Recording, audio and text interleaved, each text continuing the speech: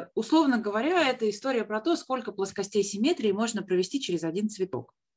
Значит, первый вариант – это актиноморфные цветки. Ну, понятно, что актинидия, да, это вот все, что касается со звездочками. Это означает, что у цветка будет несколько плоскостей симметрии. Дальше.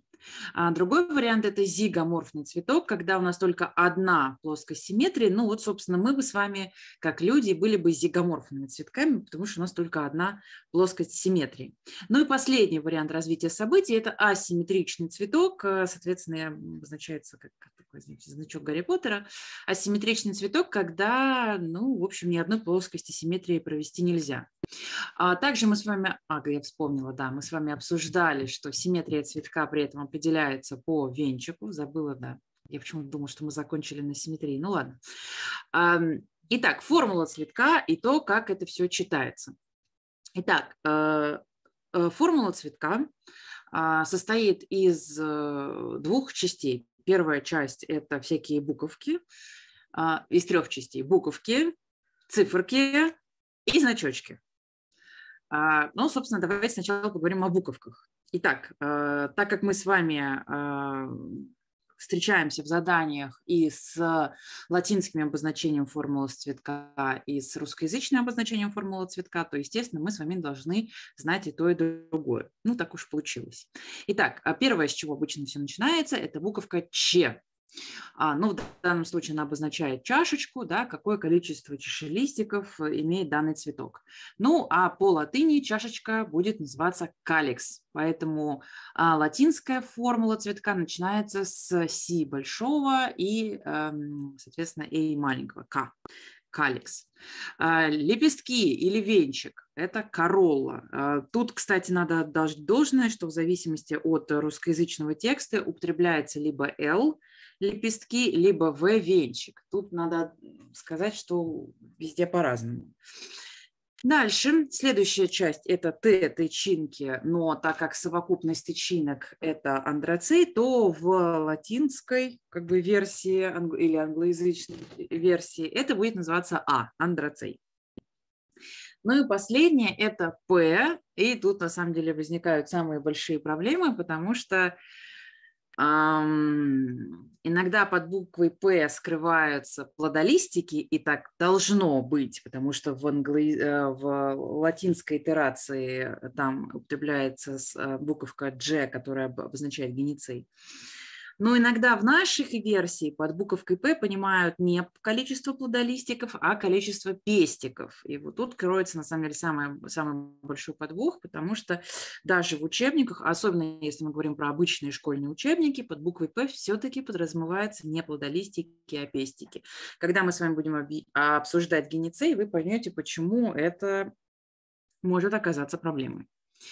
Ну и если у нас а, околоцветник простой, если у нас там либо только чашелистики, либо только лепестки, то, соответственно, мы получаем, что у нас только есть листочки околоцветника, и тогда употребляется либо буква О, либо ОК в русской итерации, либо П. Соответственно, перигониум, почему-то я думала периантум, ладно, перигониум – это, соответственно, околоцветник а, а, в латинской итерации значочки различные. Э, дело в том, что любой, любая формула, на самом деле, она начинается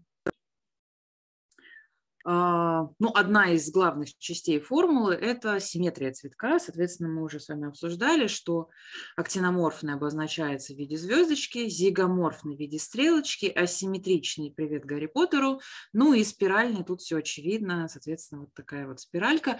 Причем вы должны понимать, э, что спиралька-то может быть лево закрученная, может быть право закрученной. Если идет речь про диаграммирование спирального цветка, то важно, как повернута спираль. Э, потому что это отражение. Но понятно, что если у вас и формула, и диаграмма цветка, ну, тогда, наверное, может быть, не обязательно указывать, в какую сторону закручено. Но если у вас только формула, то, конечно, надо указать, в какую сторону все закручено. Вот, кстати, цветок канны – это асимметричные цветки, тут никакой симметрии нет. А более того, как бы если вот эти вот два лепестка, условно говоря, расположены более-менее под 180 градусов друг относительно друга, а, то вот этот вот э, лепесток всегда смещен относительно нижнего цветка, то есть там проблематично. Вот. Плюс еще то, как внутренние лепестки расположены, все это вместе не дает возможности а, считать, что симметрия цветка там какая-то актиноморфная, зигоморфная или, или э, спиральная. Дальше. А, но самое главное и всегда формула цветка, она начинается именно с того, с обозначения, а есть ли там женская часть цветка или мужская, или цветок обоеполый. Поэтому самое начало формулы – это всегда обозначение пола цветка. Обоеполый цветок, а, женский или мужской. Очень часто, кстати, опускают этот значок в контексте того, что, ну, например, ну, очень большое количество цветков, они все-таки обоеполые. Поэтому если у вас не указывается, а, если у вас не указывается пол цветка, то знайте, что, скорее всего, это обоеполый цветок. К тому же по формуле, по буковкам Т и Г можно определить, что, соответственно, это обоеполый цветок. Э, ну, в общем, когда как. Дальше. Дальше циферки. Мы с вами поговорили, что есть три части формулы. Это циферки, буковки и, соответственно, значочки. Значочки обсудили, буковки обсудили, осталось обсудить циферки. С циферками сложнее всего. Итак, а циферка рядом с каждой буковкой обозначает количество частей данной буковки. Здравствуй, Кирилл. А, но циферки могут находиться в различных э, вариантах. Итак, самый простой вариант, когда у нас в нижнем регистре рядом, соответственно, с буковкой а, обозначается просто некая циферка. Ну, нет, буковка не такая нужна. Ну, ладно, неважно. Типа андрацей. Андрацей – это тип тычинки. Ну, что это означает? Это означает, что у нас э, в круге располагаются три тычинки, которые никак не срослись друг с другом и, в общем, прекрасно себе живут и производят, соответственно, пыльцу. Но если мы нарисуем, соответственно, э, скобочки вокруг этой трешечки, то это означает, что эти тычинки срослись тычиночными нитями в одном круге, и все прекрасно замечательно. Дальше. Если у нас э, рядом с буковкой располагаются две цифры через плюсик, это означает, что а, данный, например, э, андрацей а, представлен двумя кругами тычинок в, по три тычинки в каждом круге. Ну, если, соответственно, обозначается все это в скобочках, то это означает, что они а, срослись друг с другом, но располагаются в два круга. Да, такое бывает, представить сложно, но такое бывает. Дальше, если одни, если э, рассматривать, соответственно, пятую строку, то что мы видим? А, мы видим свободный первый круг и сросшиеся тычинки во втором круге. Ну и так и далее. Соответственно, вариаций, вариаций может быть несколько. Э, часто бывает такое, что, например, тычинки прирастают к лепесткам, и тогда это тоже обозначается общими стрелками. Ну, например, вот у нас есть э, лепестки, условно говоря, их там 5, да? Да. А, тычинок, э, значит, тычинок у нас будет ну, например, тоже 5, но дальше возникает вопрос, а как как бы обозначить, что они срослись-то? Тогда мы, соответственно, обозначаем это все вот так вот. Или большими скобками вот так вот. Ну, в зависимости от э, манеры написания. Дальше. Так, что такое? Простите за глупый вопрос, но может быть, но может быть же в записи 3 и больше чисел, если, например, лепестки расположены больше, чем ряд. Да, конечно, Вань. Конечно, у тебя кругов может быть 4, 5, ну просто такое редко встречается, но да, такое бывает. Просто понимаете, обычно, когда мы говорим про то, что, например, у нас там лепестков, например, там не, не 5, не 10, а типа 25, то, скорее всего, этот цветок будет не круговым, а спиральным. И эти лепестки будут располагаться по спирали. Если вы видите махровые цветки, причем это, например, будет махровость от природы, то тогда это эм, скорее всего, спиральный цветок, а, либо это, например, какая-нибудь мутация в АБЦ-системе. Что такое АБЦ-система, потом как-нибудь расскажу. А, поэтому, да, конечно, может быть. А, просто вы в, и в школьной литературе, да, и в заданиях а, олимпиадных, обычно вам никогда не дают формулы спиральных цветков, диаграммы спиральных цветков, вы просто с этим не сталкивались. Ну да, конечно, все это может быть. Дальше, если мы говорим про геницей, то, соответственно, тут я должна это проговорить, но если вдруг вы не знаете, что такое геницея, какие они бывают, не волнуйтесь, через несколько занятий мы это с вами обязательно обсудим. Итак, надо обязательно в конце формулы обозначить, а какой же у нас цветок, э, какая у него зависть, как зависть располагается относительно частей цветка. Помните, мы с вами обсуждали, что есть верхняя зависть, нижняя зависть, э, полунижняя зависть, всякая такая история. Но давайте еще раз это повторим, вдруг вы забыли. Так, это все сейчас, я потом, не волнуйтесь, потом все обратно перелистаю. О, мелькают картиночки, мелькают. Так, ну вот давайте обратимся к тексту из учебника Людмилы Ивановны Лотовой. И еще раз повторим, какие же бывают завязи. И в зависимости от этого мы, соответственно, вернемся к обозначению таких типов завязей в формуле цветка. Итак, цветок, самую верхнюю часть которого составляет пестик или пестики, не срастающиеся с другими частями цветка, называют подпестичным. Значит, что имеется в виду? Давайте я нарисую. Итак, вот у нас есть пестик который в простонародье состоит из завязи столбика и рыльца. Хотя это не совсем так, потому что может быть не только столбик, но и стелодий, барабанная дробь. Вы об этом узнаете через несколько занятий. Итак, в самой части, в самой верхней части цветка у нас будет располагаться пестик, а все оставшиеся части цветка, лепестки, тычинки, листочки почаще будут располагаться под ним. Это будет подпестичный цветок. Почему он подпестичный? Потому что все части цветка кроме пестика, а именно тычинки, лепестки и чешелистики, будут крепиться под завязью, под пестичный цветок. В таком цветке листочки околоцветника и тычинки всегда прикреплены к цветоложу ниже завязи, как у тюльпана. Эм, те ребята, с которыми мы с вами тюльпан диаграммировали, помните, как это все происходило. Даже если не помните, сейчас через несколько слайдов покажу, как это выглядит. В околопестичном цветке, сейчас будет очки, не будет. Вот табло. В околопесечном цветке пестик или тычинки находятся на дне более или менее вогнутого гипантия, не срастаясь с ним. Дальше вы тут, тут же автоматически должны вспомнить, что же такое гипантий. А гипантий – это, соответственно, разросшаяся часть цветоложа, вместе прикрепления к нему лепестков, э, тычинок и чешелистиков. Но при этом, если все это добро не срастается с завязью, то это будет околопестичный цветок.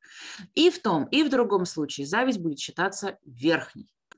В противном случае, если, например, гипантий все-таки срастается с завязью, давайте это нарисуем. Вот как. А, так. Если у нас это все срастается, какое-то безобразие у меня получается, вот, то тогда это, соответственно, а, соответственно, будет уже над пестичным цветком, либо просто в процессе того, когда у нас э, зависть оказывается ниже, а, ну, по тем или иным причинам все-таки бывает такое, и в том и в другом случае зависть, соответственно, у нас будет нижний, а цветок будет уже над пестичным, потому что, соответственно, над э, пестиком будет все это дело крепиться. Ну, ну вот, кстати, этот цветок тюльпана, посмотрите, пожалуйста, внимательно. А, вот он, да, соответственно, вот она наша зависть. И, соответственно, цветоложа вот где-то там, и все крепится к основанию цветоложа. Так вот, когда мы говорим про то, что мы должны закончить формулу цветка, мы заканчиваем расположением завязи. Мы рассказываем о том, а как же все это выглядит. Потому что назначение формулы цветка и назначение создания диаграммы, чтобы человек, который никогда в жизни не видел цветок, но при этом умеет, его, э, умеет читать диаграммы, умеет читать формулы, мог бы в своем воображении а, ярко представить картину того, как на самом деле выглядит этот цветок. Поэтому вы должны рассказать и про то, какой он симметрии, и про то, какого он пола, и то, где располагаются э, части цветка, куда они крепятся, над завязью, под завязью, в общем, это колопестичный, подпестичный цветок. И для того, чтобы это все обозначить, вы, соответственно, используете вот такие вот черточки. Итак, последняя ваша буква, ну, например, буковка П, если мы говорим про русскоязычные формулы, или буковка G, если мы говорим про англы, э, латиноязычные формулы. И, соответственно, у вас, например, будет три плодолистика. Еще раз скажу, не бойтесь, я расскажу, кто, такие, кто такой геницей, какие типы геницея бывают. Если вы это все знаете, то прекрасно. Просто повторим. Так вот, а, пол цветка определяется наличием тычинок и пестика. Да, Вань, пол цветка определяется наличием тычинок и пестика. Если у тебя и пестик, и тычинки, значит, у тебя обои полы. Если только пестики, то, соответственно, женский. Если только тычинки, то мужской. А знаете, в чем ужас? А, вообще-то, господи, есть же цветки бесполые, а там нет никакого значка. А, классический школьный пример – это соцветие калины гордовины. У них а, щиток, а, который по периферии содержит цветки с такими большими, красивыми, белыми, соответственно, лепестками. И, по-моему, чешелистики тоже какие-то там сросшиеся есть. Но ни пестиков, ни тычинок там нет, потому что они нужны для привлечения. И это как бы бесполые цветки. Вот такие тоже бывают – но, насколько я помню, значка там никакого нет. Типа нет значка, нет пола. Как-то так, наверное.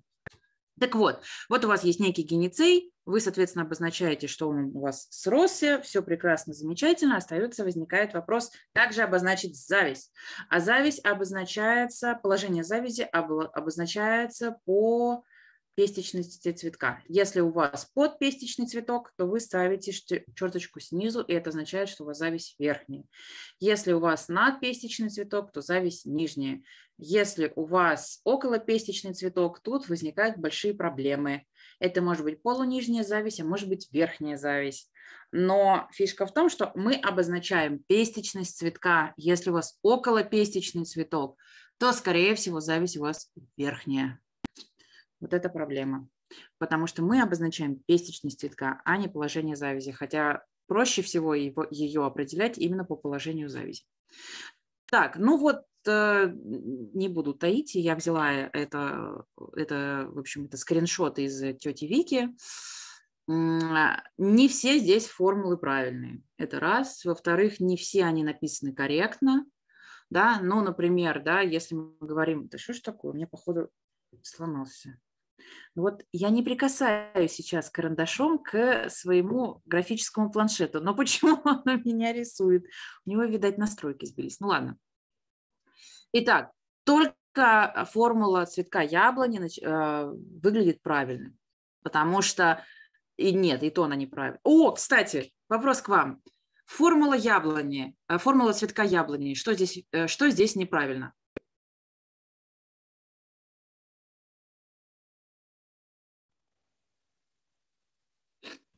Ну, зайки мои, прекрасные. Зайки. может быть. Андрей, давай. У них, по-моему, у них то ли один, то ли очень много пестиков. И, может быть, э, плодолистиков. Неправильно сказал. Дело не в этом. Нет ты ищешь ошибку в циферках. Предположим, ты циферки не знаешь, но mm-hmm. ты должен понимать, то есть я сейчас тебе рассказала правила написания формулы. Предположим, ты вообще не понимаешь, правильные циферки или нет. А полная формула должна... Ну, да, тип зависи. Да, да, Кирилл правильно написал, да. А, а, формула должна содержать всю информацию. И пол, и симметрию, и количество там этих каликс, корола, перегониум, андроцея, геницея, неважно что. И обязательно положение завязи. Ну, в данном случае не положение завязи, а пестичность цветка. Так вот, э, здесь на самом деле не хватает чего? Здесь не хватает черточки вот здесь вот. Ее нет. Кстати, вопрос к вам. Где я должна поставить черту у яблони? Вспомните тип плода яблока, что в нем особенного. Так, а можно вопрос, а что означает знак бесконечности? Да, а, Кирилл, хороший вопрос, про бесконечность скажу, вверх, сверху. А, да, совершенно верно, надо поставить э, черту сверху. Ну все, теперь мой этот штуку вообще не пишет. Надо поставить черту сверху, это означает, что зависть нижняя. Да, все верно. А, потому что у них развивается гипантий, и этот гипантий при этом прирастает к завязи, то есть там не свободная завязь, она оказывается нижней, а, соответственно, цветок надпестичный. Так, у шиповника, ну, считайте, не шиповник, а роза. А с чего нужно начать э, формулу цветка шиповника? Злата, пожалуйста, если ты что-то говоришь, говори громче. То есть я как-то так... Да, с пола, конечно. Какой пол? Какой пол цвет розы? Какой пол цветка у розы? Ну, вспомните. Ну, ну, даже по формуле понятно. Обоеполый, конечно, да. Мы должны здесь пририсовать. Ну, вообще, огонь. Мы должны здесь пририсовать вот такую штуку.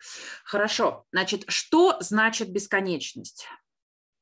Правила биологии, и это касается не только формул, Ой, где-то же это еще встречается. Ой-ой-ой, где-то еще не помню, где-то еще встречается. Смысл в том, что если э, больше 12 структур, сейчас как нарисовать больше или равно? Вот так, наверное, больше или равно.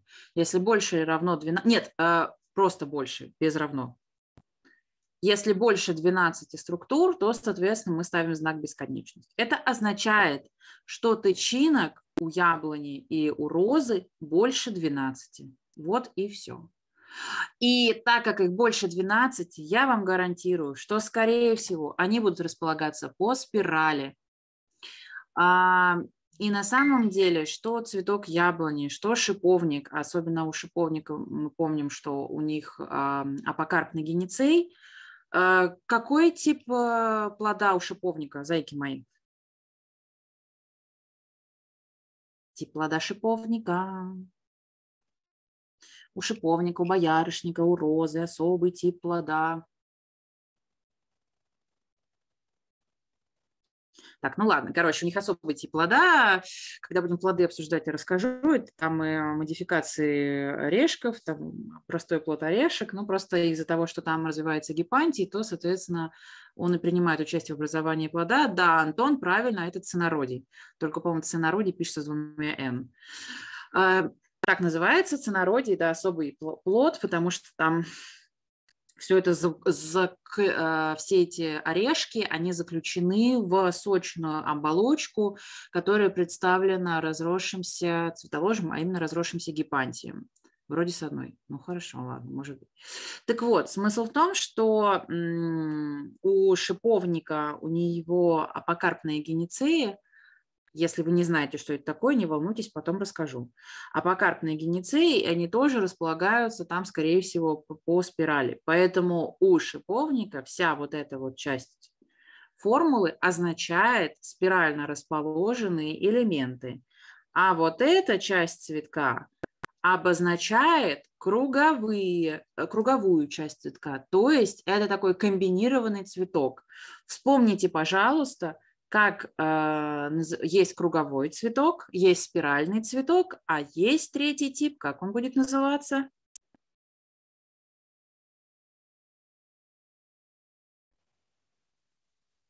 Ну, когда микс, микс между круговым и спиральным. Надо учить домашнее задание. А, это называется полукруговой цветок, собственно, земляника. Это такой прям школьный, условно говоря, пример этого полукругового цветка. А, следующая наша формула – это горох. Ну, тут тоже более-менее, да, полукруговой. Кирилл молодец, вспомнил. А, у гороха, да, у них, э, как представителя бобовых, но на самом деле не бобовых, а мотыльковых, потому что семейство мотыльковое – а не бобовое.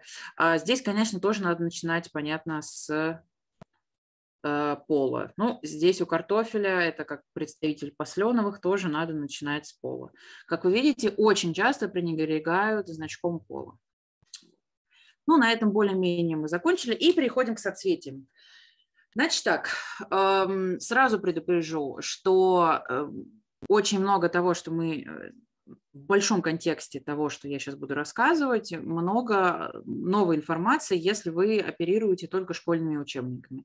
Потому что тема соцветия и типы соцветий а, как бы принято рассказывать про очень малый а, набор и тип соцветий. В школьном учебнике, ну, потому что не, как бы не, видит, не видит в этом надобности. Мы же с вами, как товарищи продвинутые олимпиадные, а, должны знать довольно большое количество соцветий, ничего страшного, да, будет много информации новой, но просто по мере как бы, того, как вы это все будете повторять, учить, вы все это выучите, так что ничего страшного не бойтесь. Итак, соцветие – это особая структура, а, это видоизмененная система побегов, с цветоносными верхушками, более или менее обособленная от вегетативной части растения. Это действительно специфическая метаморфизированная структура. Как минимум там происходит метаморфоза, даже если не с анатомической точки зрения, хотя и с анатомической иногда тоже происходит, а, изменяется э, набор экспрессии генов. То есть с точки зрения физиологии растений э, система претерпевает очень сильные изменения. Сделать лист с точки зрения как бы, молекулярных основ антогенеза, сделать лист и сделать цветок, это, простите, как говорят в Одессе, две большие разницы. Потому что, когда мы говорим про создание цветка, это очень сложная структура. Чтобы сделать какой-нибудь там чешелистик лепестко, э, чешелистик, хорошо, лепесток, чтобы сделать лепесток, нужно задействовать там, ну, примерно порядка 30-40 генов.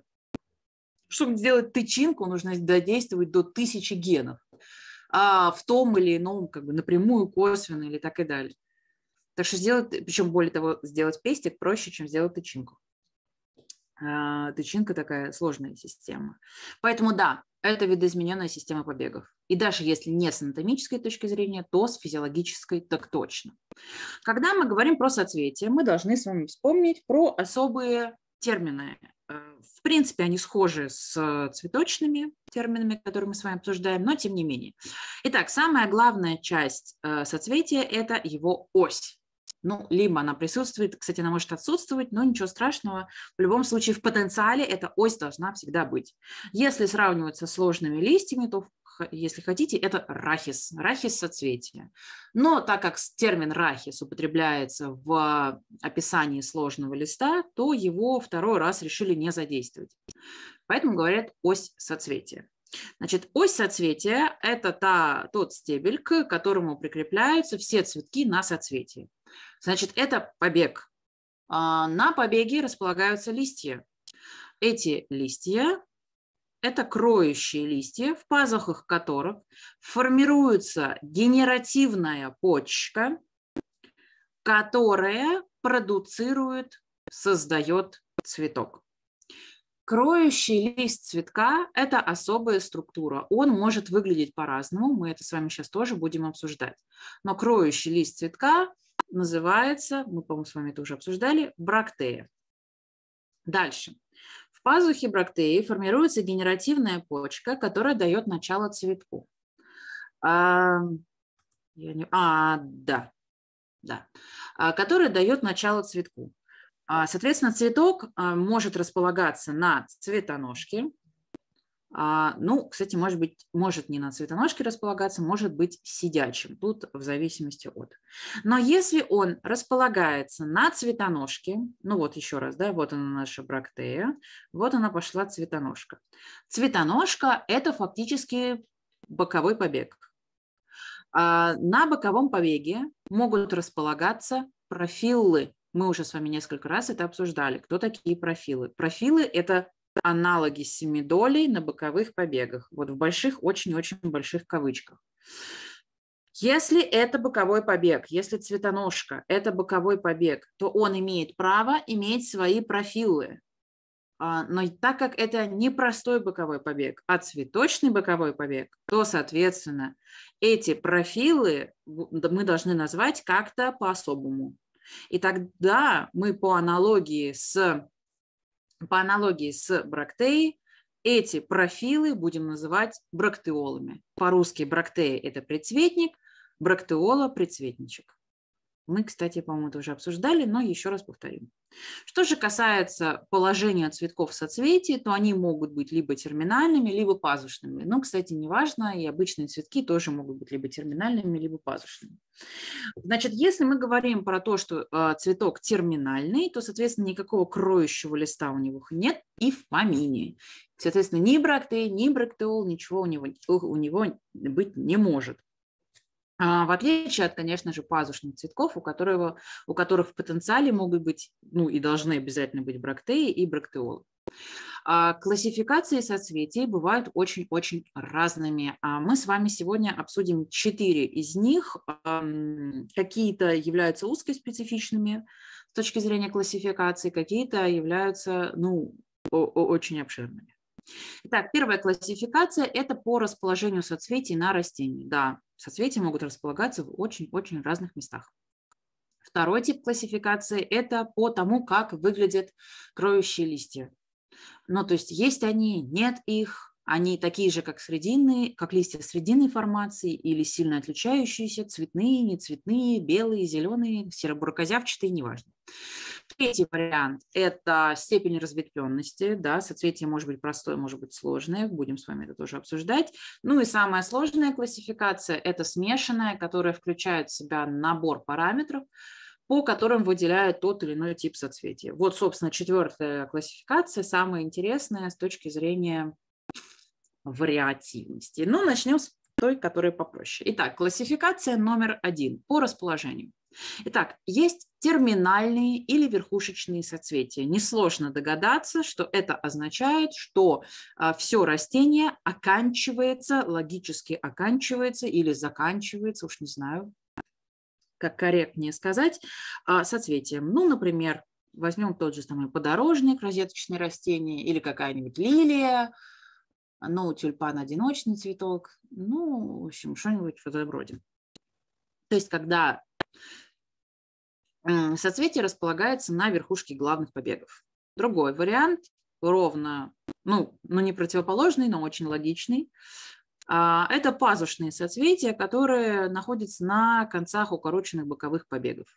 То есть главная ось продолжает свое нарастание к, к, к, к небу, а, соответственно, пазушные побеги представляют из себя соцветия. Ну и самое интересное, с моей точки зрения, это так называемые интеркалярные соцветия, очень интересные. Интеркалярные или по-другому вставочные соцветия, они представляют из себя как бы чередующиеся этапы развития побега. То этот побег продуцирует вегетативные почки, то этот побег продуцирует только генеративные. Потом только опять вегетативные, потом только генеративные. В общем, такая интересная история. Одним из представителей э, растений с интеркалярными соцветиями является а, бумажное дерево Брусонетти паперифера. Это, соответственно, представитель семейства миртовых. Значит, что у нее, как это все выглядит? Значит, во-первых, у них соцветия очень специфичные.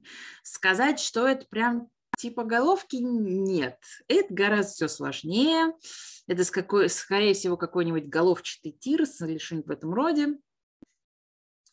Значит, что это такое? Вот у нас идет какая-то ветка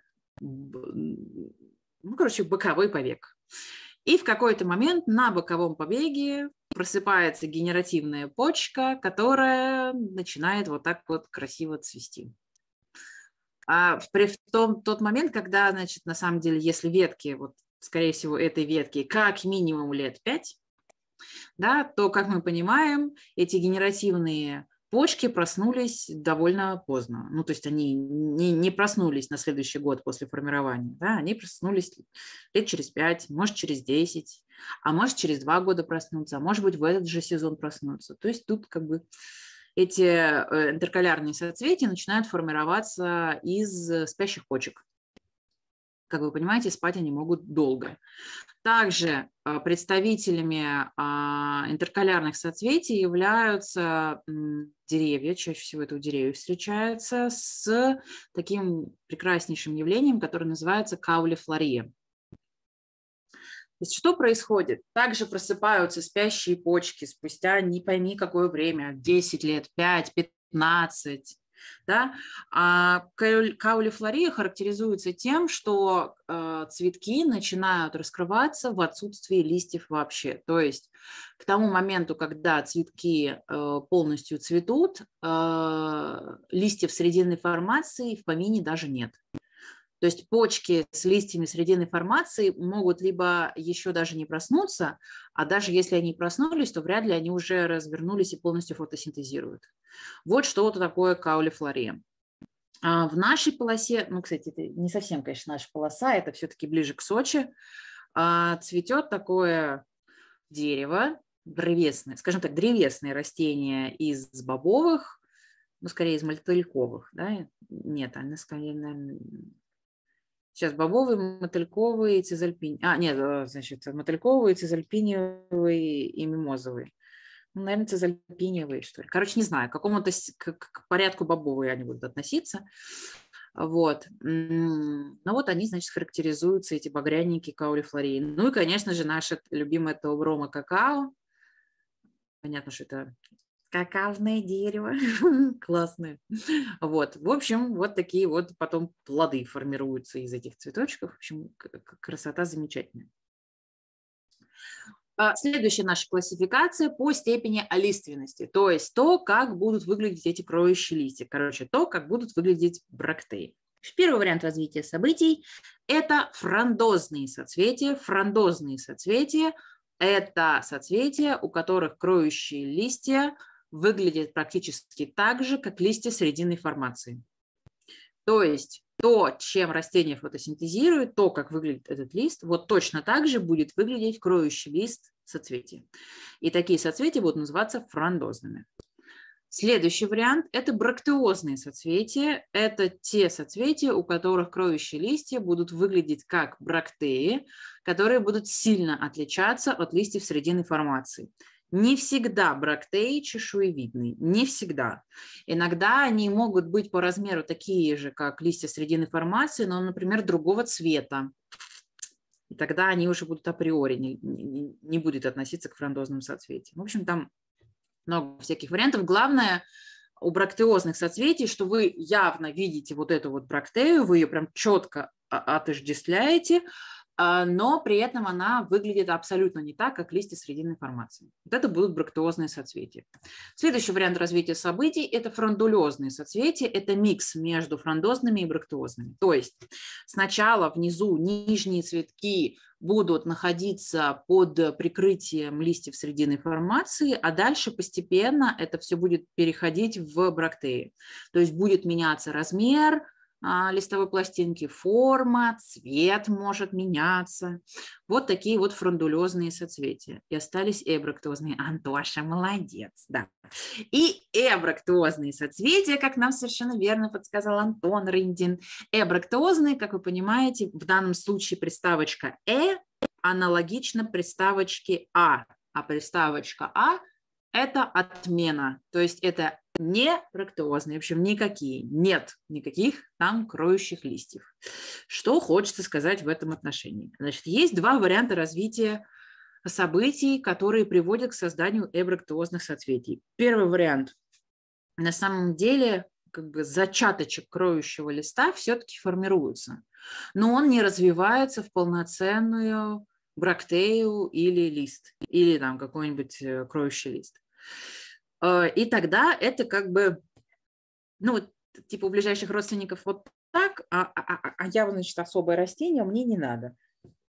Есть другой вариант развития событий, когда даже намека никакого на кроющий лист не развивается.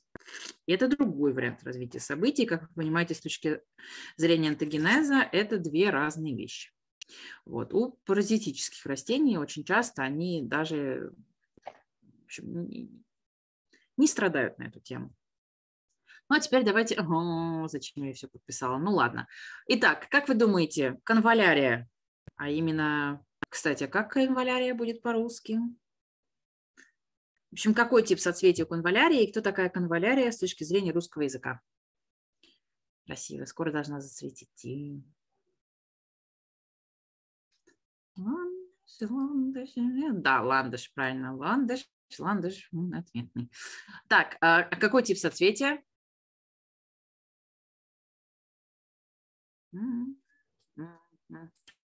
Так, брак ну, понятно, Кирилл брактиозное, совершенно верно, брактиозное соцветие, потому что вот тут кусочек листа ландыша, мы с вами помним, как там выглядят вот эти листья с параллельным желкованием, большие лопаточки, вот то, на что сейчас указывают стрелочки, вообще никак не похоже, соответственно, на э, листья срединной формации. Следующее растение прекрасное, замечательное, с очень красивыми цветочками, фуксия из семейства кипрейных, а какой тип соцветия у фуксии?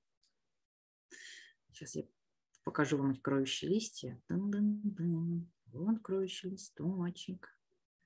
Вот там тоже кроющий листочек. Так.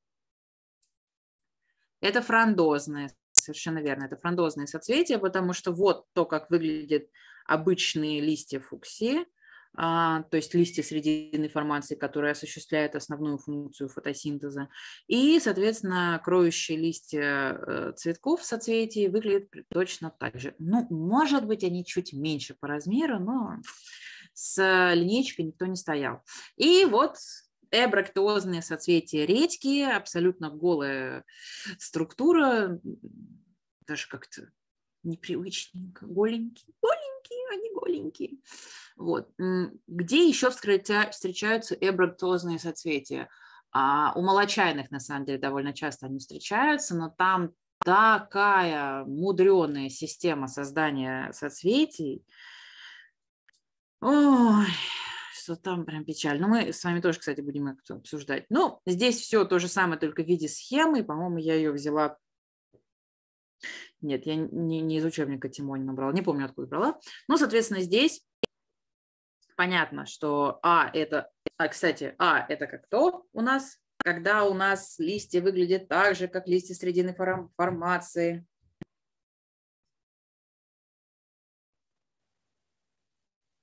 Так, это фрондозные, хорошо, только не фронт, а фронд, фрондозные, они Д, фрондозные.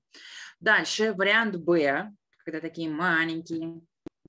Вариант, вот, вариант Б.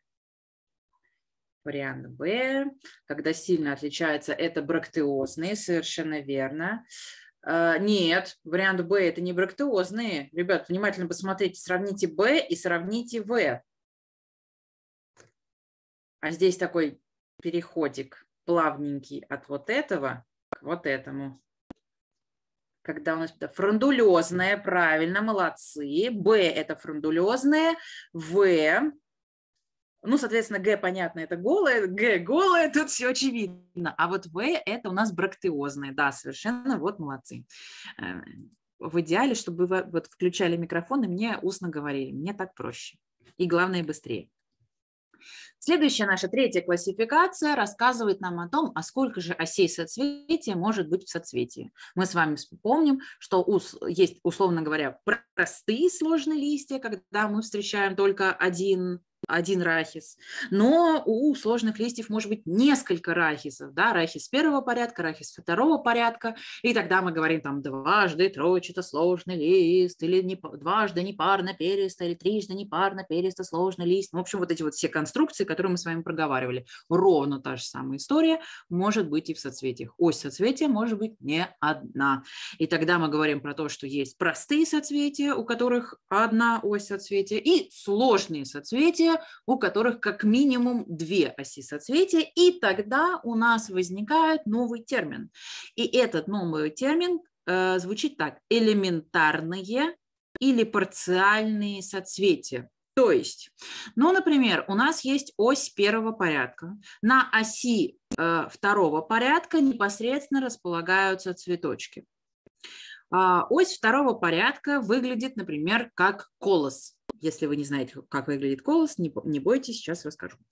Вот. Но в любом случае, э, так как у нас всего две оси соцветия, и на второй оси соцветия располагаются цветы, и это все выглядит как колос, то получается, что элементарным соцветием данного сложного соцветия является колос.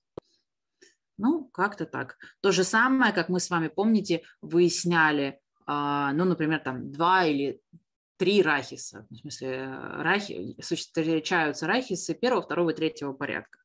Мы должны посмотреть на то, как располагаются листочки сложного листа на арахисе третьего порядка. И исходя из этого мы называли и выстраивали вот эту конструкцию в названии сложного листа. Подход здесь ровно точно такой же. Вы должны выявить, какое у нас самое элементарное соцветие. Вы должны выявить, а, как располагаются цветки на самой последней оси соцветия. И тогда от этого вы пляшете.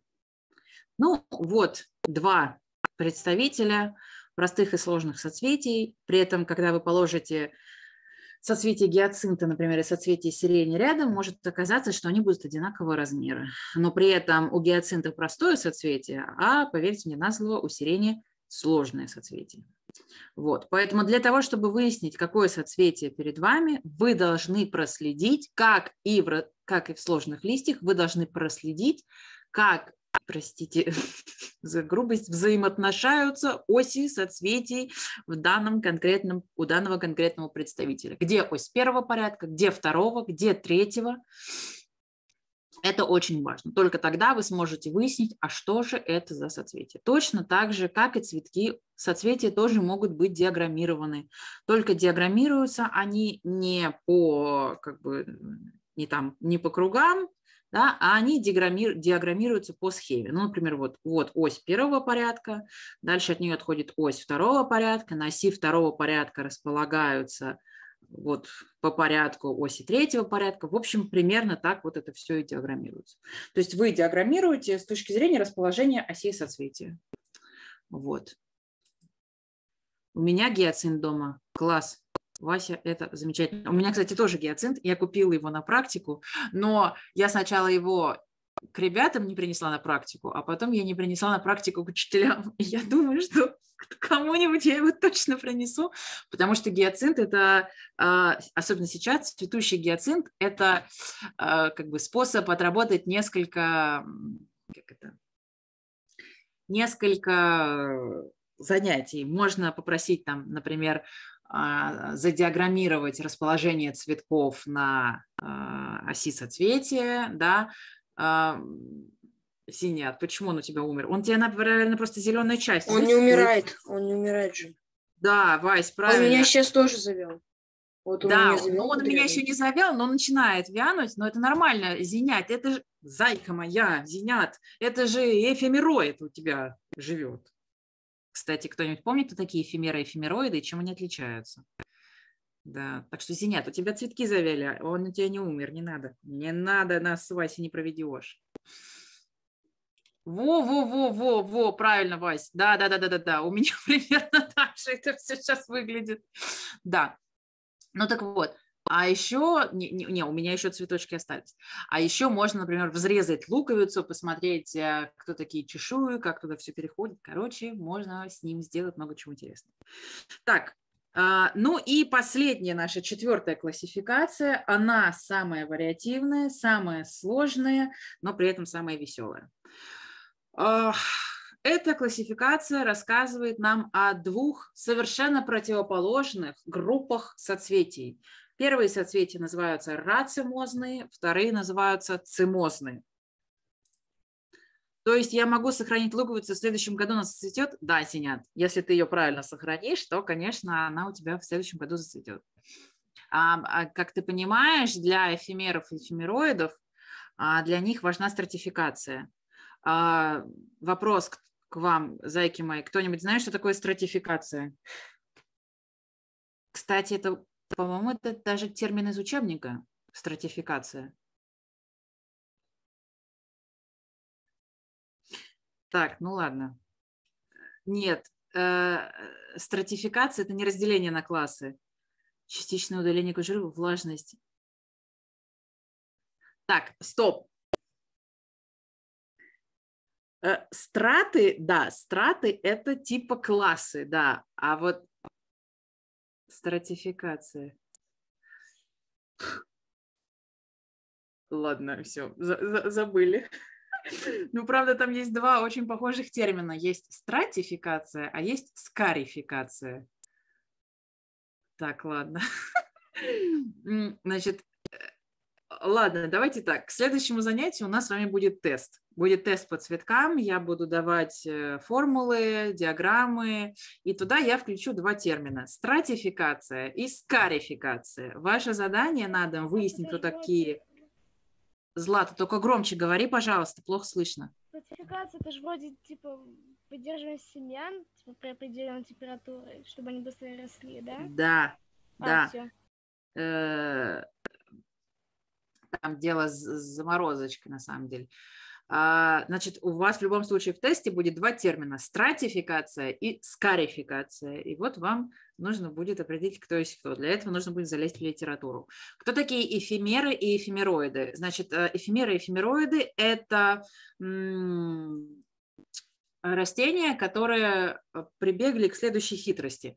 Они не собираются бороться с неблагоприятными условиями. Они просто свой жизненный цикл а, проведут тогда, когда этих неблагоприятных условий вовсе нет. А Иногда это связано с температурой, иногда э, неблагоприятные условия могут быть связаны с температурой, с влажностью или с конкуренцией. Так вот, если мы говорим про наши, э, нашу широту, наши условия, значит, что, так, что так надо? Сейчас, Кирилл, я видела вопрос, сейчас, секундочку.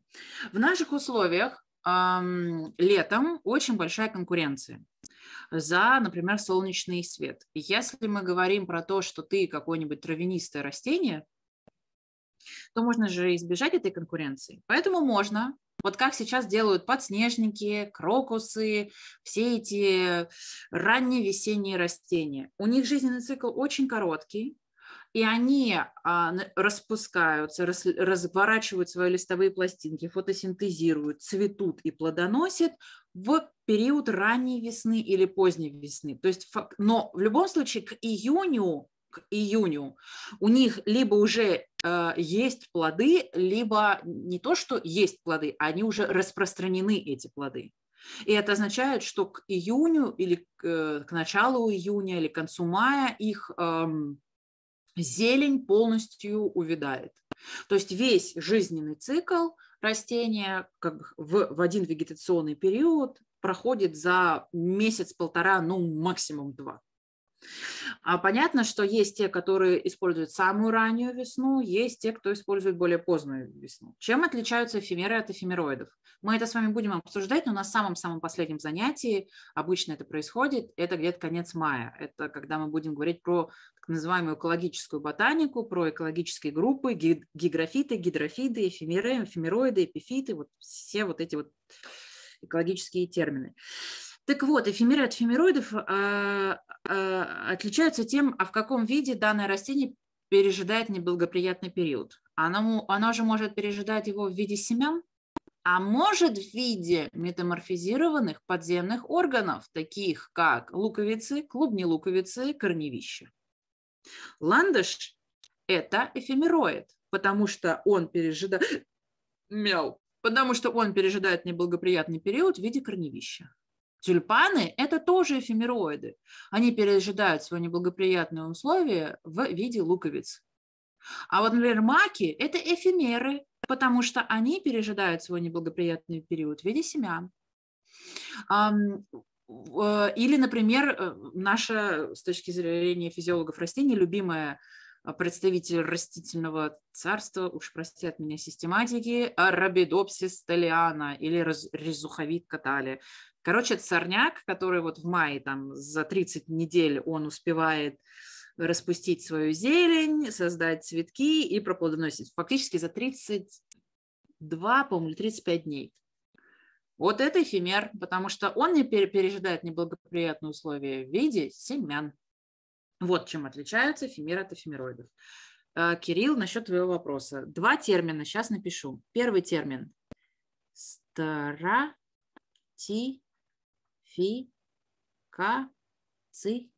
Второй термин – скарификация.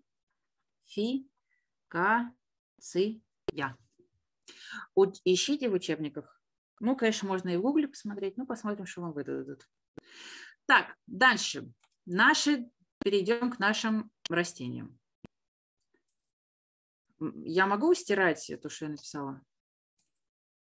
Спасибо. Так, предположим, что вы это все переписали. Просто мне нужно избавиться от э, текста. Итак, рацимозные и цимозные соцветия. Это две группы соцветий по многим параметрам, противоположных друг другу.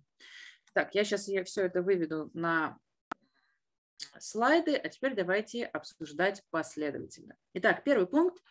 Соответственно, рацимозные являются открытыми соцветия, цимозные являются закрытыми. Но начнем мы, на самом деле, с вами не с первого пункта, а со второго, а именно с оси соцветия. Итак, у рацимозных соцветиях есть ярко выраженная, очевидная главная ось, на которой тем или иным способом располагаются цветки. На цветоножках, без цветоножки, короче, неважно. Как-то так. Дальше. Эта главная ось имеет неограниченный рост.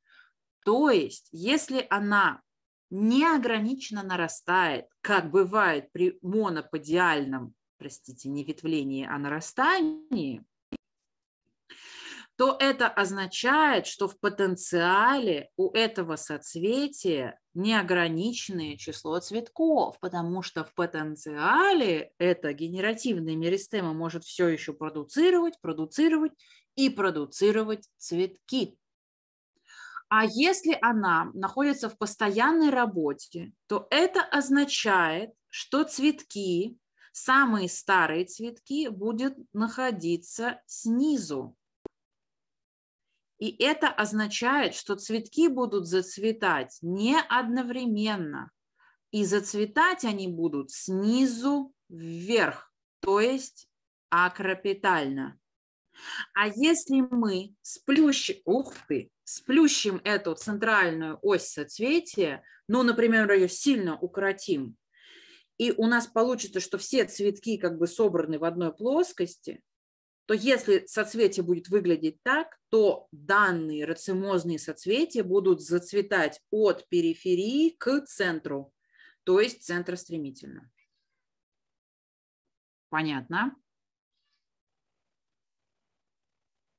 Вопросы? То есть мы отталкиваемся от того, что соцветие открытое, а открытое говорит нам о том, что э, генеративная меристема на главной оси имеет неограниченные возможности в создании цветков. Все оставшиеся, э, э, все оставшиеся, соответственно, функции из этого вытекают. У меня всего один вопрос. Почему цимозный пишется через «и», а рацимозный через «е»? Ваня, ну умеешь ты задать классные вопросы? Не знаю. Не знаю. Может, я ошиблась, кстати, проверьте. Может быть, не рацемозные, а рацимозные. Насколько я помню, все-таки рацемозные. Проверьте в интернете. Они, по-моему, вообще от разных слов происходят. То есть там не один тот же корень.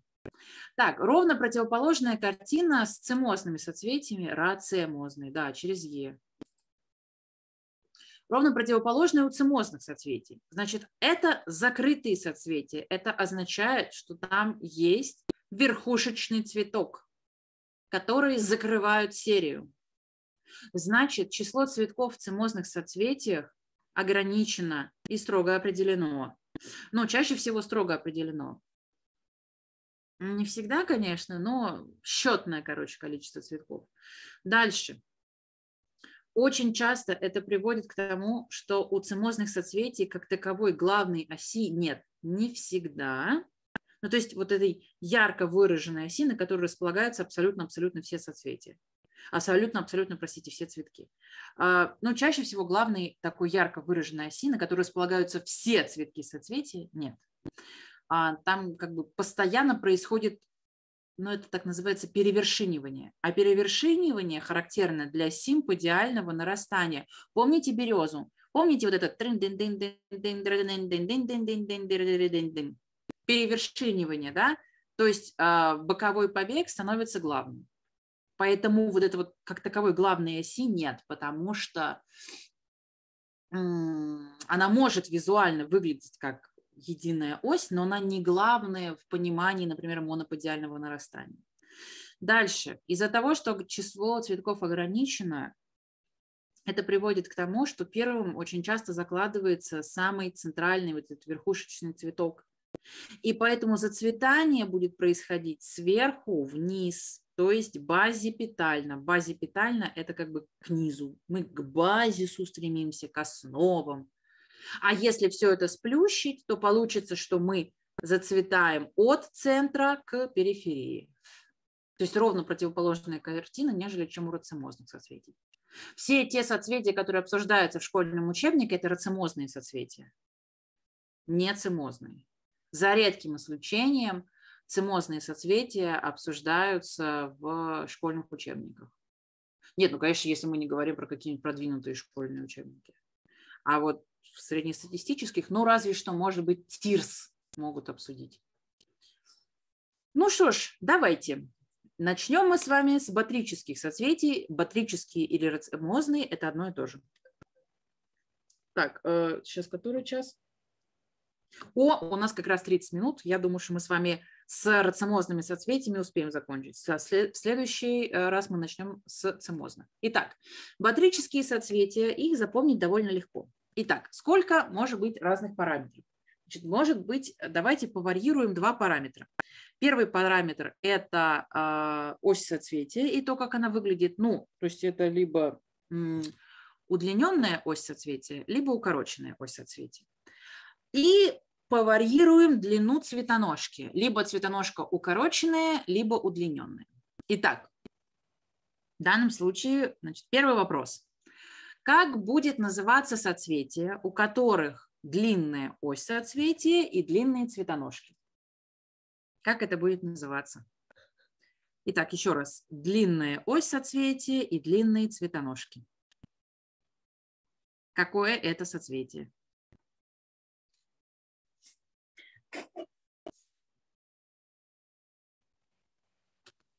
Вот. Ну, зайки мои, давайте. Кисть? Кисть, совершенно верно, это кисть. Хорошо. Где мой следующий слайд? Ну, пожалуйста. Вот, это кисть. Следующий вариант. А, если, давайте, раз мы перейдем, ой, как я там шла, по-моему, вот сюда. Нет, вот сюда. Да, давайте, значит, у нас удлиненная ось, но короткие цветоножки, укороченные, короче, практически нет их. Как это будет называться? Колос, совершенно колос. верно. Колос. Ну, пожалуйста. Да, колос. В следующую строчку переместимся. Удлиненная цветоножка, но укороченная ось. Итак, ось цветия, считайте, что ее нет но зато удлиненные цветоножки. Зонтик? Так. А, а щиток подойдет? Но мы же не говорим про неравномерность длины а. Угу. Да, поэтому это у нас будет зонтик. Собственно, щиток – это просто под вариант зонтика. Ну и последний вариант. У нас и ось укорочена, и цветоножки укорочены понял, корзинка. А почему корзинка? А, все, понятно, Антон, о чем ты говорил, да. Так, укороченная и цветоножка укороченная, и ось укороченная. Это как? Головка, что ли? Конечно, конечно, головка. Да, совершенно верно. Кисть, колос, зонтик, головка. Это базисные а, четыре соцветия батрических э, рацемозных э, соцветий. Все оставшееся – это вариации кисти, колоса, зонтика или головки. Ну, как вы понимаете, щиток – это будет под вариант зонтика. Ну, просто у тебя неравномерной длины а, цветоножки. Да? А нас тут конкурент фит, у нас тут конкурент фит появился. Ваня! Ванечка, я тебя обожаю. Ну, ну.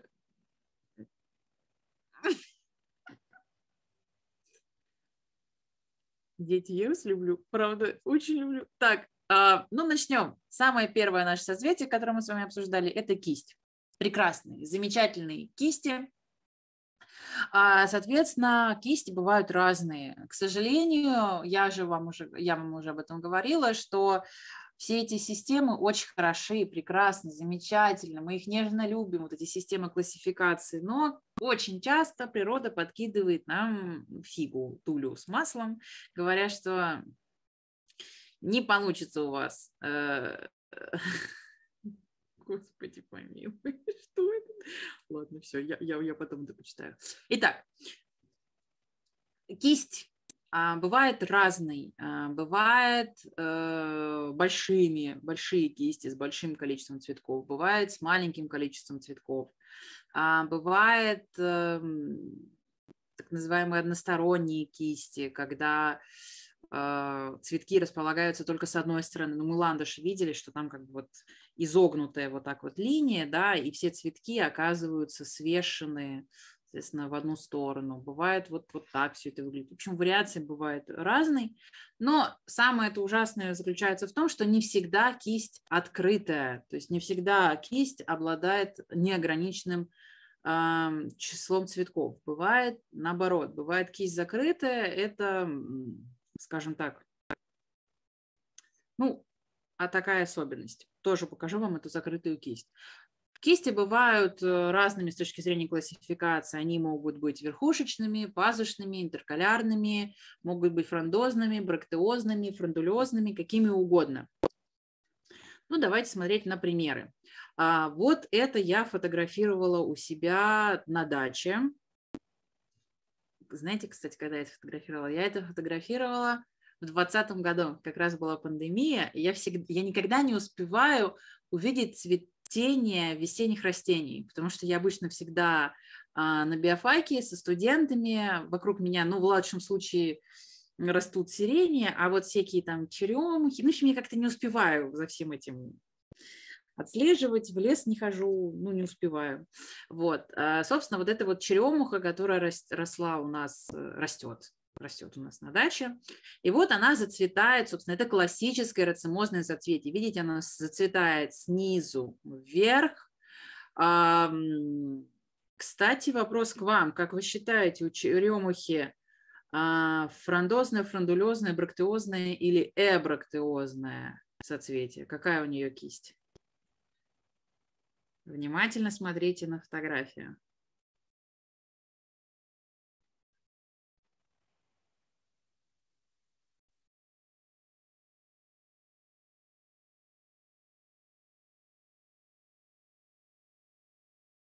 Так. Франдуоза. Кирилл, ты имел в виду франдулезное? Так, Ваня пишет эбрактеозное. Так, ну ладно.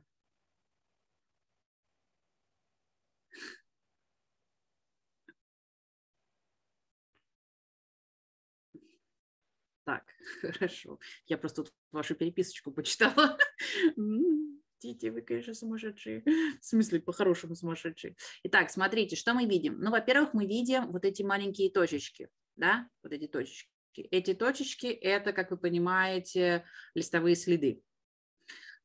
А, если мы видим листовые следы, то это означает, что там, скорее всего, были какие-то листоподобные структуры. А листоподобные структуры явно, скорее всего, брактеозного типа, потому что если бы это было фрондозного типа соцветия, то мы бы увидели эти кроющие листья, похожие на листья срединной формации. Если бы оно было фрондулезное, то хотя бы на, у нижних цветков мы, мы бы видели нормальные кроющие листья, а здесь мы их не видим. Если бы это было эбрактеозное, то мы бы никаких листовых следов бы не увидели а то есть вы вообще все сообщения видите, то есть, да, я вижу все сообщения, а смысл тогда отличных сообщений? А потому что вы не, вли, не лично друг друга пишете, вы, ви, вы пишете в общий чат, поэтому, да, я, конечно, вижу все ваши сообщения, алло, если вы хотите как бы друг с другом переписываться, то выбирайте как бы конкретно человека, которому все это адресуется. Я, я, я, слушайте, я же не против. Ну, в смысле, меня почему-то это очень радует, потому что это же, это же как бы э, стимулирует вас как ботанью. Вот, понимаете, быть на вершине на самом деле очень сложно. Когда тебе есть за кем стремиться, тебе на самом деле проще. Когда бегун идет вторым, а, он идет в воздушном коридоре, который создает первый, первый бегун. Но у него при этом доста- оста- доста- достаточно сил, чтобы в последний момент сделать рывок и обогнать его. А если ты все время идешь первым, то цена проигрыша оказывается очень большой. Поэтому э, слава богу, что у вас есть ребята, которые как бы вас так стимулируют. Я наоборот, это я над этим всем смеюсь в контексте того, что вы, по мне, как мне показалось по вашим сообщениям, что вы это очень воспринимаете с юмором. А когда ты это воспринимаешь с юмором, ну, жить легче, когда ты с юмором смотришь на жизнь.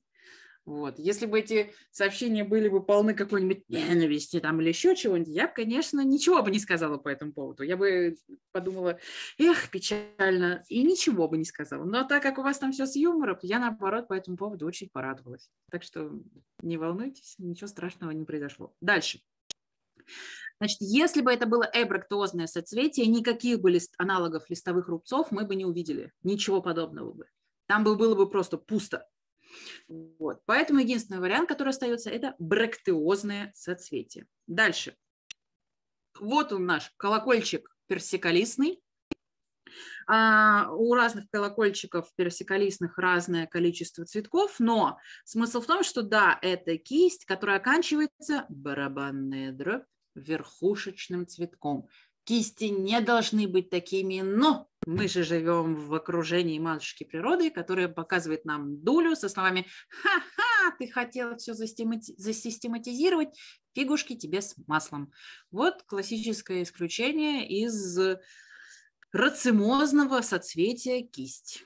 Вот, бывает оно и цимозным. Вот. Дальше. Когда мы говорим о том, что кисть – это рацимозное соцветие. Кисти могут быть как простыми, так и сложенными. То есть долж, есть арахис первого порядка, вернее, ось первого порядка, и на оси первого порядка располагается ось второго порядка с расположенными на ней цветками по типу кисти. То есть, когда у нас элементарное соцветие является кистью. Но, что важно – как мы определим, что это двойная кисть, а не какая-нибудь кистеподобный колос, например? Значит, эти элементарные соцветия должны располагаться так же, как располагались бы цветки, будь это простым соцветием. То есть наши элементарные соцветия должны располагаться наподобие такой же кисти. Как это может выглядеть по-другому? Ну, например, это может быть выглядеть вот так. Сейчас. Вот так. Вот это будет ось первого порядка, а это будут элементарные соцветия.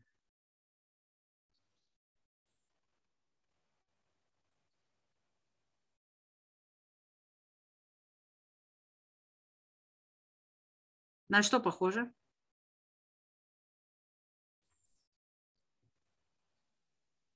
Вот это, то, что я сейчас нарисовала, вы бы назвали двойной кистью?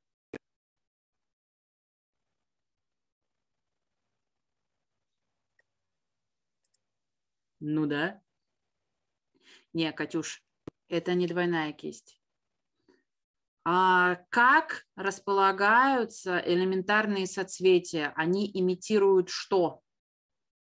Если бы, смотрите, если бы вот эту картинку я бы перерисовала в следующем, в следующем виде. Что напоминает?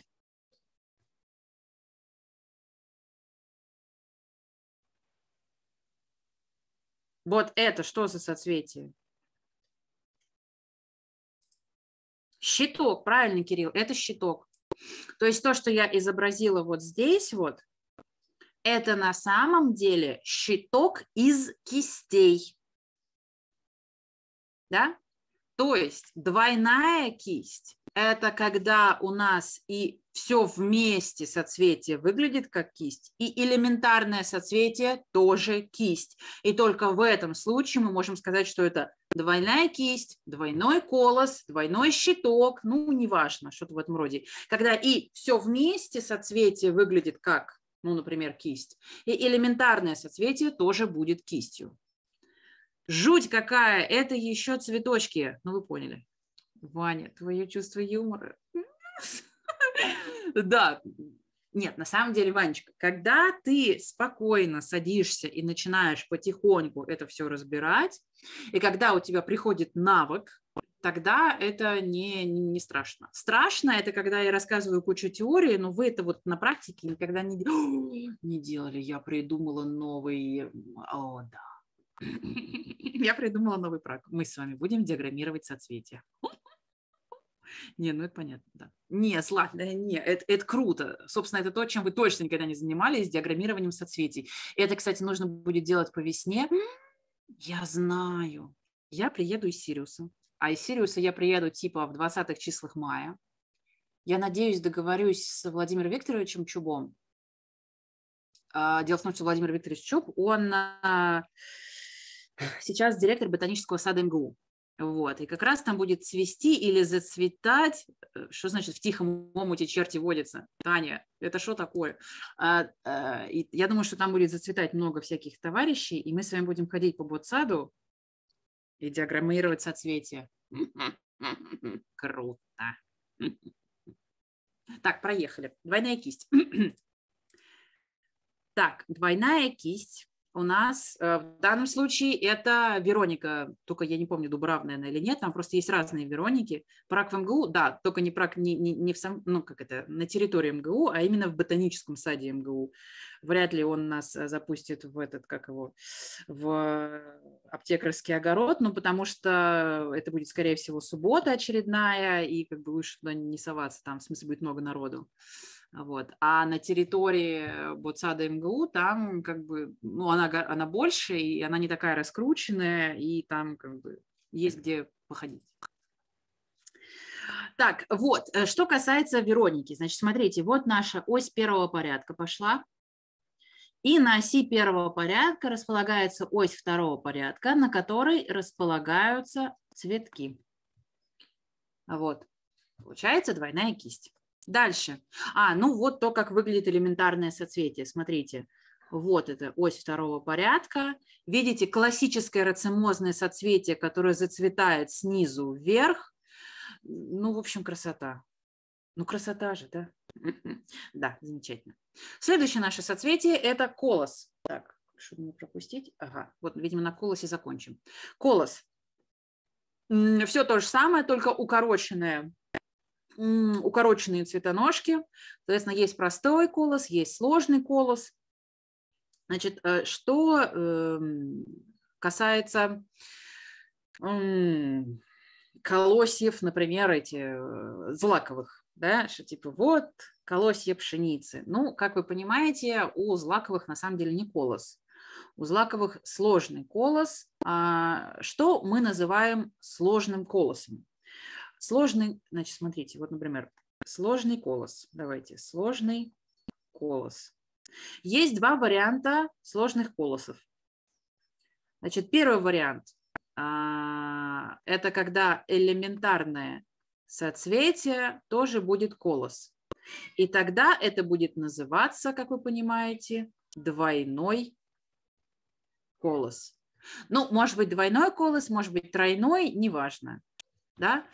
А, но если у нас элементарным соцветием является не колос, значит напишем элементарное соцветие не колос, тогда э, общее название таких соцветий будет просто сложный колос. А уж какой он, это конкретные подвиды. Это может быть эм, э, колос из кистей, это может быть колос из головок, это может быть колос из э, зонтиков, неважно. В любом случае мы это напишем общим, обозначим общим словом сложный колос. Так вот, у злаковых, у большинства сложный колос. И чаще всего это колос из кистей. То есть располагается все внешне, это как э, колос. Но э, там цветки имеют, соответственно, кисти, господи. Элементарное соцветие, там будет э, кисть. А, и то там В общем, там все очень сложно, и в зависимости от конкретного злака, там не у всех э, по такому же принципу. У кого-то честный двойной колос, да, а у кого-то сложный, завязанный с кистью. В общем, употребленное в простонарод... ну, как бы вот употребляемое в просторечии слово колос злака, это не совсем корректно. У них никогда не простой колос. У них всегда он либо сложный, либо двойной. В общем, вот к чему была моя тирада. Итак, а, а вот простые колосы чаще всего встречаются у архидных, у, ар, э, у ароидных нет, у архидных простые колосы, вот у подорожниковых очень часто, не у всех, не у всех архидных и не у всех подорожниковых, но если мы говорим про обычных простые, а что там с кукурузой? Вот, кстати, с кукурузой у кукурузы не початок. У кукурузы у нее колос из кистей, вот как у нее. Как-то так. Дальше. А, ну, в общем, у нее соцветие не початок, если что. Дальше. А, у подорожниковых, а, у подорожников, в частности, у всяких наших орхидных из нашей полосы, у ятрышниковых, вот. Что еще, у кого еще бывает? А, вот он, этот сложный колос. Сложный колос. А, в данном случае я не помню, то ли это рожь, то ли пшеница, не помню. Вот. Соответственно, смотрите, вот то, что окружено единой чешуей, это будет парциальным соцветием.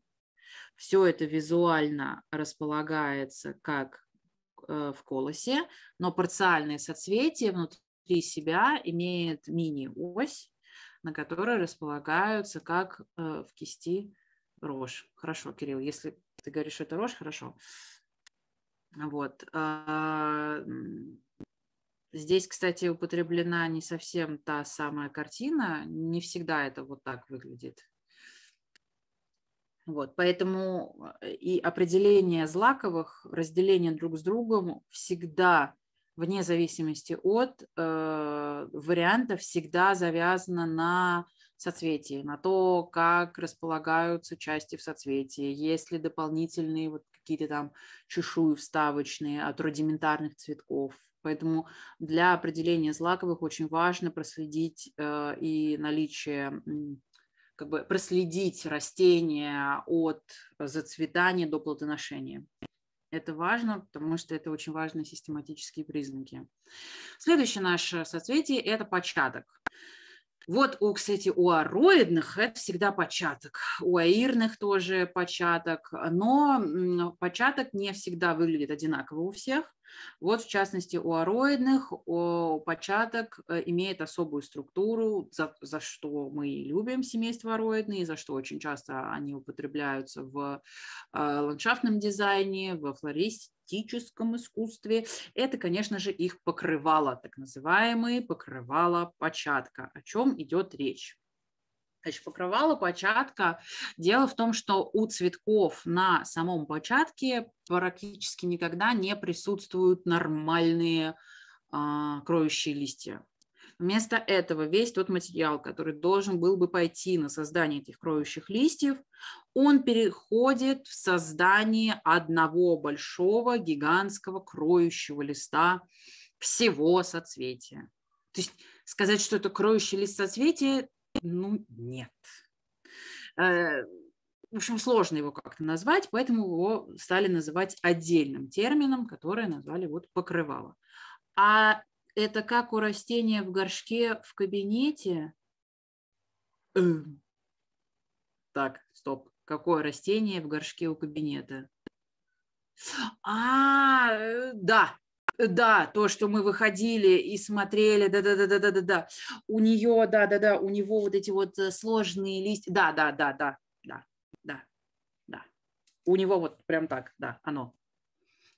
Так, дальше, а, следующий у нас зонтик и, э, ладно, значит, э, зонтик. Простой зонтик – это не прерогатива, как вы понимаете, семейства зонтичные. Подавляющее большинство представителей семейства зонтичные не зонтик, а сложный зонтик. И чаще всего двойной зонтик. Но не всегда двойной, бывает и какой-нибудь там зонтик из щитков, что-нибудь в этом роде. А вот простые зонтики, например, характерны некоторым представителям плодовых разоцветных, э, ну, например, прунуса, или, например, некоторым первоцветным, таким как проломник.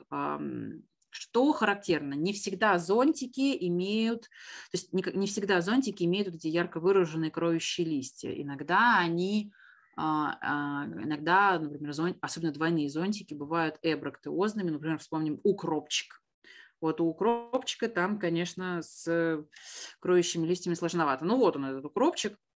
Как вы понимаете, это не просто сложный зонтик. Это не просто сложный зонтик, это двойной зонтик, да, потому что оси первого порядка выглядит так же, как в зонтике, и оси второго порядка точно так же выглядит, как в зонтике. То есть это прям честный э, двойной зонтик.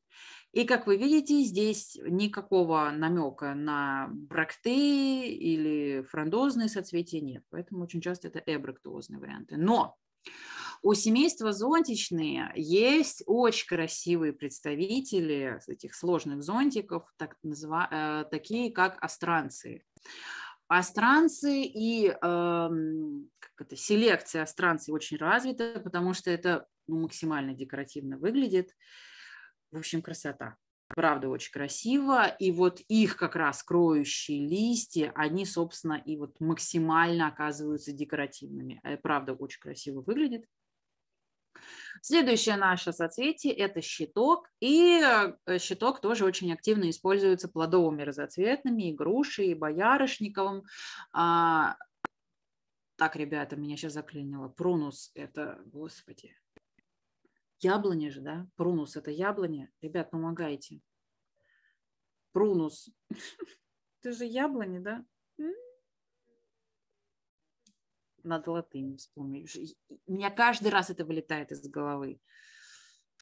А, груша. Прунус – это груша. А, хорошо, груша. Нет, прунус – это не груша.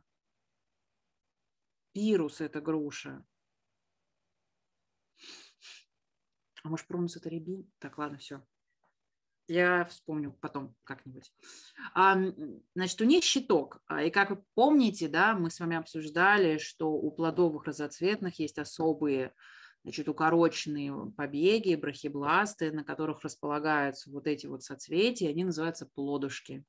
Вот, собственно, плодушки могут быть, выглядеть как э, зонтики, могут выглядеть как щитки, неважно, но в любом случае это а, они как бы отдельно выносятся в качестве боковых побегов.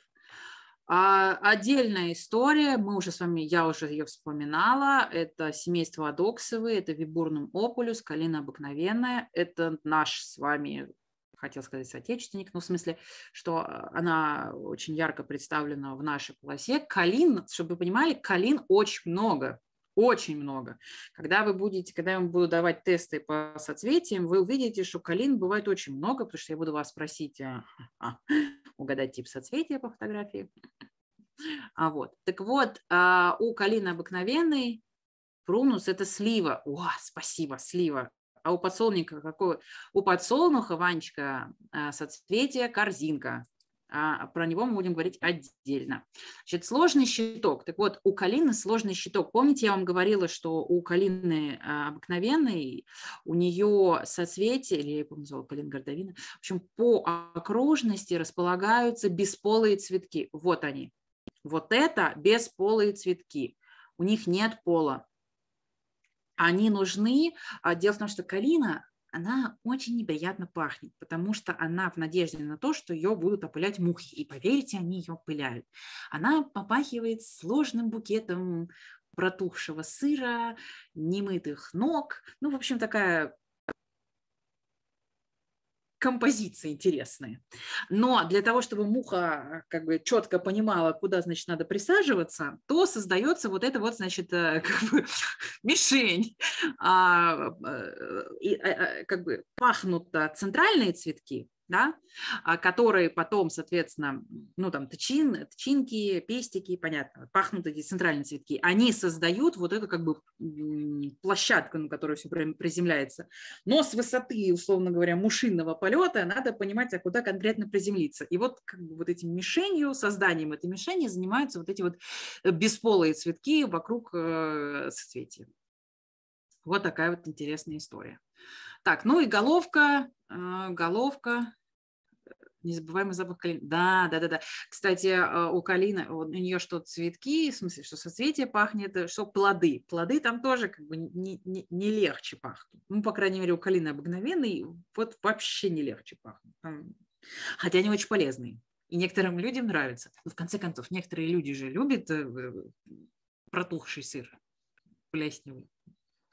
Наверное, когда-нибудь с течением времени я тоже полюблю его, но пока что-то не получается.